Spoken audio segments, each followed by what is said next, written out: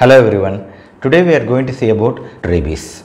Like my previous videos, I am going to use mind mapping for rabies. Now we will see about rabies in a nutshell through the help of mind map. So the agent factor for rabies is the Lyssa virus type 1 bullet shaped neurotropic RNA virus belonging to the family Rhabdoviridae and there are two types of rabies virus uh, street virus which is pathogenic for the human beings and another one is fixed virus. The brain to brain passage of the street virus in the rabbit modifies the virus such that its incubation uh, period is progressively reduced until it becomes constant.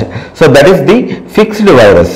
So this fixed virus strain is usually used in vaccine production for rabies. What is the source of infection? The saliva of rabid animals is the source of infection. What is the host for rabies? Usually man is the dead end host for rabies and usually the people in the age group of 1 to 24 years are the common victims of rabies. What is the mode of transmission?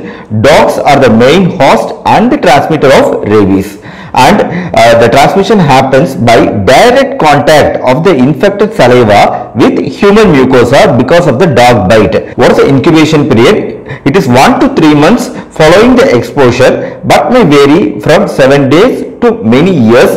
In short, it depends upon the site of bite. Suppose the dog bites in the face, head, neck and the upper extremities, you can get rabies uh, in a shorter incubation time. Now, what is the pathogenesis? The, uh, at the site of bite, the rabies virus enters the nerve endings and via the peripheral nerves, it uh, slowly ascends to the central nervous system. So, this is the ascending type of infection in rabies and uh, gradually all the nerves are affected. And what is the clinical picture of rabies? Mostly the patients present with characteristic features such as hydrophobia, aversion for water, aerophobia, aversion for air, noise, bright light, even cold air will stimulate the sensory fibers leading on to severe shock for the patient and then the patient will really get scared of swallowing any liquid and it will provoke severe spasm of the muscles of the deglutition and the patient will die within 2 to 3 days or at the maximum the patient can live only up to 5 to 6 days. So how to diagnose the rabies infection? It is by antigen detection. Mostly patient will not survive to detect the antibody. So the diagnosis is by anti antigen detection by immunofluorescence or skin biopsy. What is the treatment? The main treatment is isolation of the patient in a quiet room so that there is no light, noise or cold air. And second thing is relieving the anxiety and pain by using sedatives such as morphine. If there is spastic muscular contractions of the throat and other parts of the body, then we use drugs like curare-like action. Then uh, we have to ensure adequate hydration and diuresis and the respiratory and cardiac support in the form of intensive nursing care. That is the mainstay of treatment here and uh, suppose luckily if the patient after receiving immunoglobulin and vaccination if he is given appropriate respiratory and cardiovascular care rarely he may survive but the chance of survival is really really very less very rare so in public health point of view this is the most important part rabies is one among those rare infections where we give post exposure prophylaxis. That is we give the vaccine we give after the bite has occurred after the uh, disease has occurred. So what is the purpose of immunoglobulin here? The main purpose is to neutralize the inoculated virus. Before it enters the nervous system we use the immunoglobulin to neutralize the virus and second thing is local treatment is very important.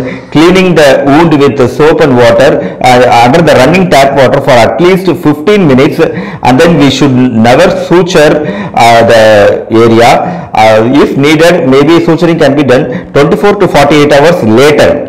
And then chemical treatment we have we can use virucidal agents uh, like uh, alcohol or tincture iodine or povidone iodine we can use. And then antibiotics and anti-tetanus measures we have to do. And the third thing is the most important thing is immunization. In immunization there is purified cell culture vaccine and then cell culture and embryo, embryonated egg based vaccine ccv and ccev the, how the vaccine is given either it can be given intramuscularly or it can be given intradermally. Uh, in intramuscular modes of uh, uh, vaccination there are two methods uh, two regimens one is Essen regimen other one is Zagreb regimen see this is Essen regimen in Essen regimen regimen, uh, how many doses we give? 0, 3, 7 and 14. Uh, so we give uh, 5 visits the patient has to do and then we give 5 doses. So how much uh, vaccine we have to give? 1 ml into the deltoid or into anterolateral area of the thigh in case of children. So we have to give 1 ml. So 5 doses 5 visits. Next is Zagreb schedule. See in Zagreb schedule uh, we give 2 1 1. See that means the patient will come only for 3 visits that is 0, 7 and 21 today. So only 3 visits he will come.